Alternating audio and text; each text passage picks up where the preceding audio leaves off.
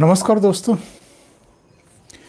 वैसे तो ये यूट्यूब चैनल 2008-9 से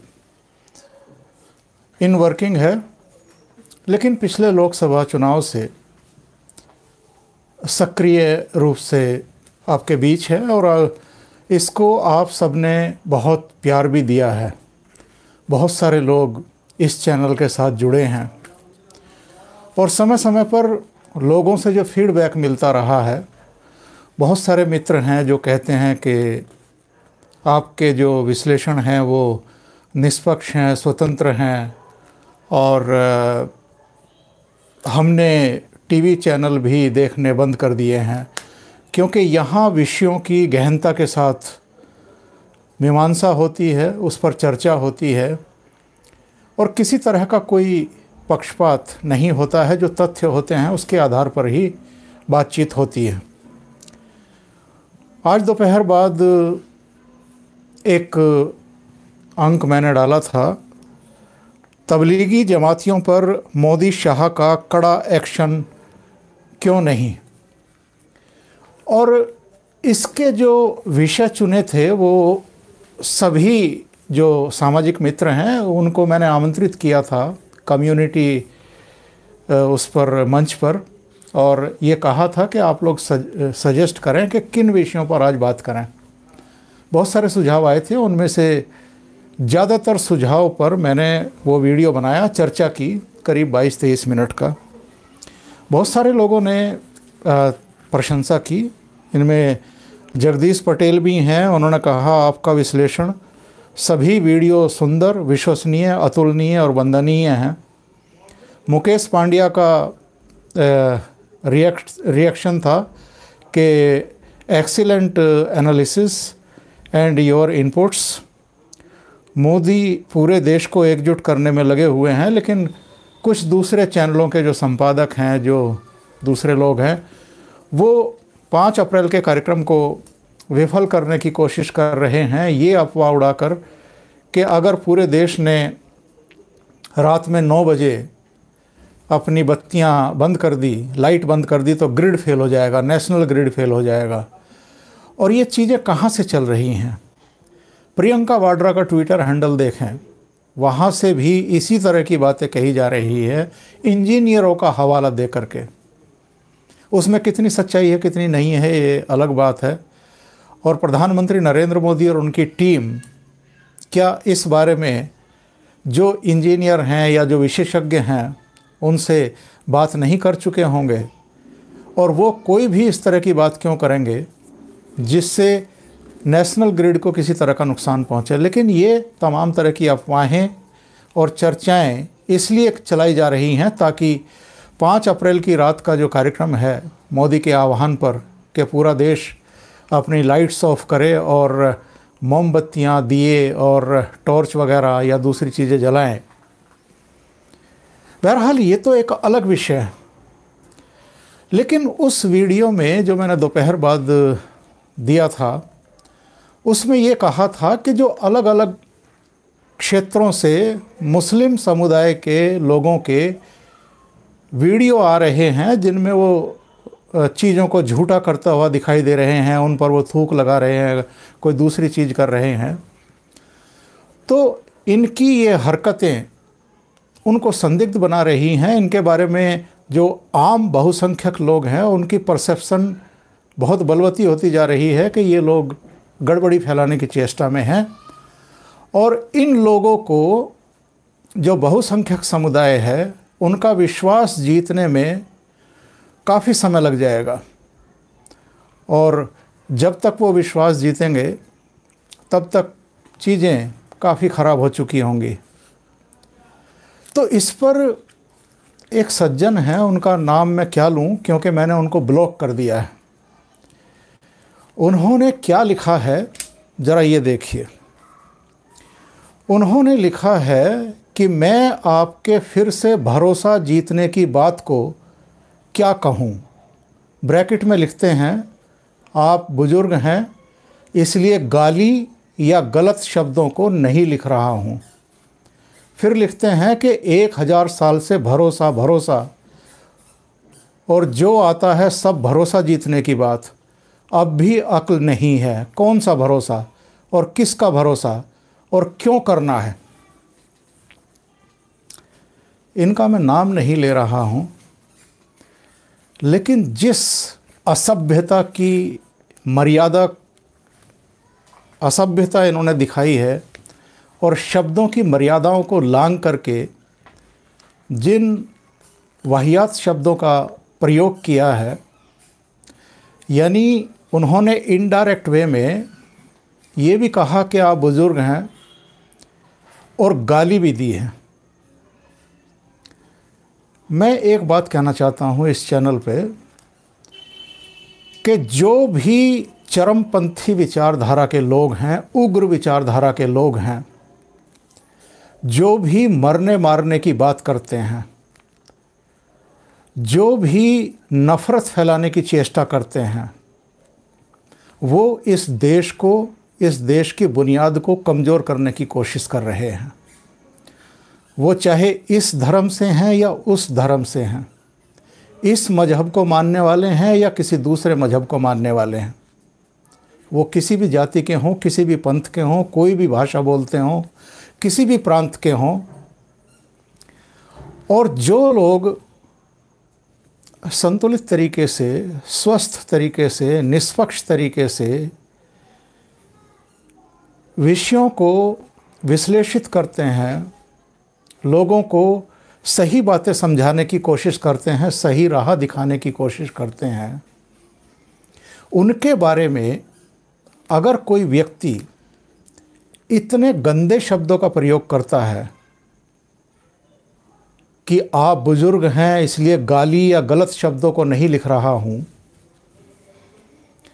तो ऐसे लोग अपने संस्कार बता देते हैं कि उनके संस्कार कैसे हैं और वो कैसे परिवारों से आते हैं और वो अपने बुज़ुर्गों के साथ, अपने माता पिता के साथ, अपने दादा दादी के साथ किस तरह का बिहेव करते होंगे, वो ये भी शो करते हैं। और मैं जितने भी लोग इस चैनल को देखते हैं या सब्सक्राइबर हैं उन सबसे एक विनम्र निवेदन करना चाहता हूँ कि वो सभ्य भाषा में ही अपनी बात रखें। आप सुझाव देंगे, आप आलोचना करेंगे, सिर माथे पर है, उनका स्वागत है। लेकिन अगर आप गाली गलौज की भाषा में पेश आने की कोशिश करेंगे तो ये चीज़ें बर्दाश्त नहीं की जाएँगी। बहुत सारे लोग हैं जो कांग्रेस पर जब वीडियो बनती हैं या सोनिया गांधी पर बनती हैं, राहुल गांधी पर बनती हैं तो गाली गलौज की भाषा में कमेंट करते हैं। मुझे बहुत सारे कमेंट उनके डिलीट करने पड़ते हैं, क्योंकि कुछ मर्यादाएँ हैं, कुछ गरिमा है। आप उनकी आलोचना करें और मेरे से बड़ा आलोचक कौन होगा? मैं खुद कांग्रेस की रीतियों, नीतियों, कार्यक्रमों, दृष्टि, दिशा और सोनिया गांधी की काबिलियत, राहुल गांधी की काबिलियत पर लगातार प्रहार करता हूँ और सवाल खड़े करता हूँ। लेकिन सभ्य शब्दों में उसका एक तरीका होता है। लेकिन आप किसी के विधवा होने पर बहुत गलत शब्दों का प्रयोग करें।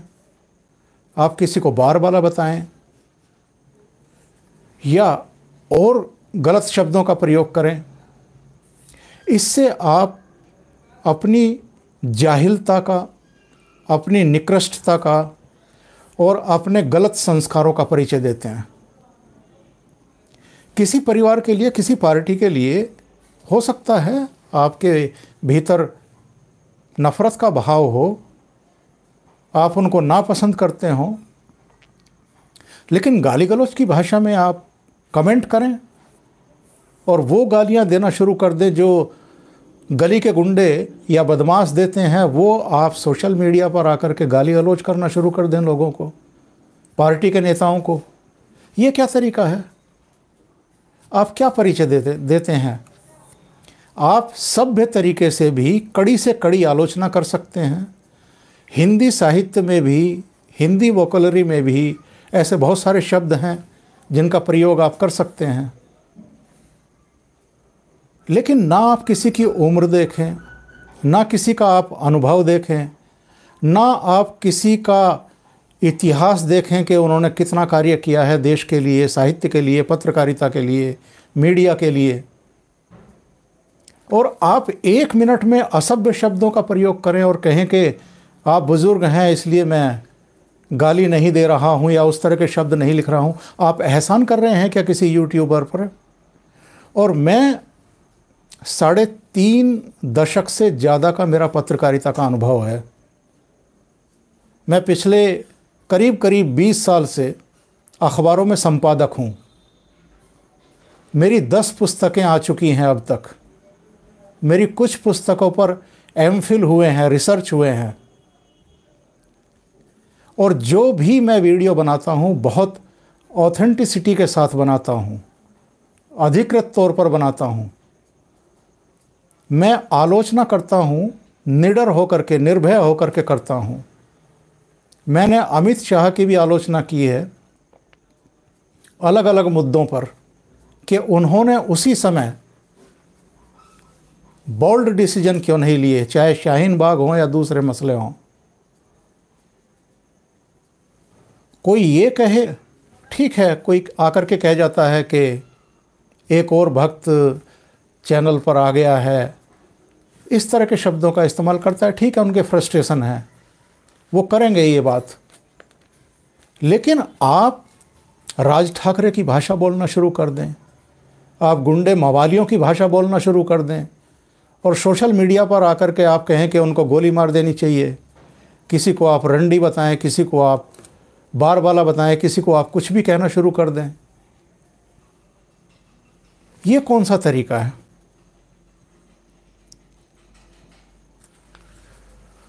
हर चीज़ का एक तरीका होता है। आमतौर पर तो इस तरह की चीज़ें आती हैं तो मैं ऐसे जो भी कमेंट करने वाले लोग होते हैं, उनको या तो मैं उनके कमेंट को हटा देता हूँ या अगर देखता हूँ कि वो रिपीटेडली इसी तरह की बातें कर रहे हैं आकर के, और इसी तरह की गाली गलौच की भाषा कर रहे हैं, और इंटेंसली कर रहे हैं तो फिर मेरे या किसी दूसरे जितने भी यूट्यूबर हैं, जो इन सब चीज़ों को पसंद नहीं करते हैं और स्वस्थ पत्रकारिता करते हैं, उनके पास कोई चारा नहीं है कि ऐसे लोगों को ब्लॉक कर दिया जाए।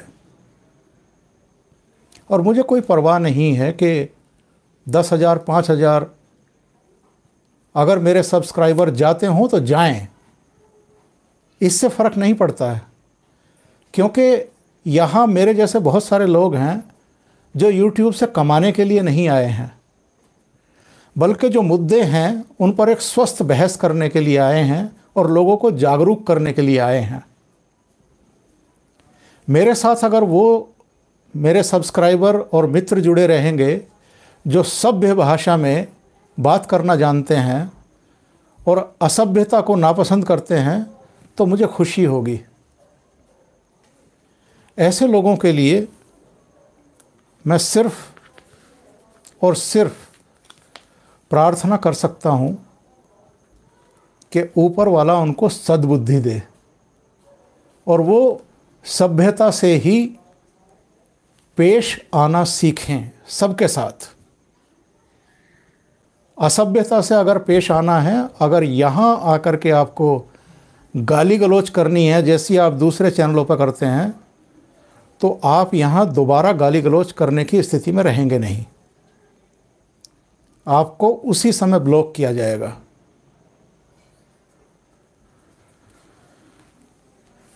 अभी के लिए इतना ही। बहुत बहुत धन्यवाद। अगर आपको ये चैनल पसंद आ रहा है तो लाइक करें, कमेंट करें, वीडियो शेयर करें और कमेंट में आप आलोचना भी करिए। अगर आपको कोई चीज़ ठीक नहीं लग रही है, आप बिल्कुल आलोचना करिए। स्वागत है उसका। लेकिन गाली गलोच की भाषा में करने की कोशिश मत करिए। इससे आप अपने संस्कारों का ही परिचय देते हैं। अभी के लिए इतना ही। बहुत बहुत धन्यवाद। नमस्कार।